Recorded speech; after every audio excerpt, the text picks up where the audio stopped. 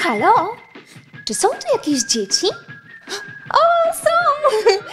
Ja jestem Zuza i chcę Wam pokazać dzisiaj coś bardzo fajnego. Czy wiecie, kto to jest? Tak, to jest kosmonauta. A ten pan? To jest strażak. A ten dziwny osobnik?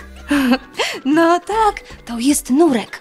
Na pewno wiecie, że to są tacy superbohaterowie, którzy pomagają nam, dbają o nas, odkrywają coś bardzo ważnego. I żeby mogli to wszystko robić, ubierają się w takie dziwaczne stroje.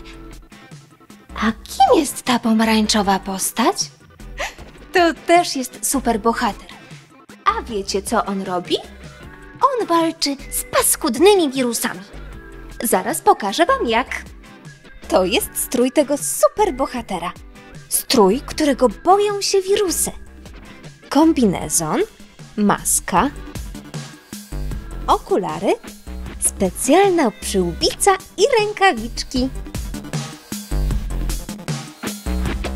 Widzicie? Wyglądam jak kosmita, ale tu w środku to nadal jestem ja, Zuza. A jak ten bohater walczy z wirusami?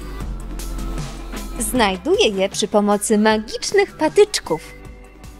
Jak to się dzieje, pokażę Wam na sobie. Taki pomarańczowy bohater przychodzi do kogoś, kto może być chory i tymi patyczkami sprawdza jego gardło i nosek. I jak było? Śmiesznie tak i szybko. Ale powiedz co dalej? Teraz te patyczki zostaną zbadane w laboratorium. Jeśli znajdą na nich wirusa, będzie można go wygonić, tego paskudnika. O, to fajne! Ale trzeba jeszcze powiedzieć, że ten bohater może być nie tylko pomarańczowy, ale także biały. O, tak!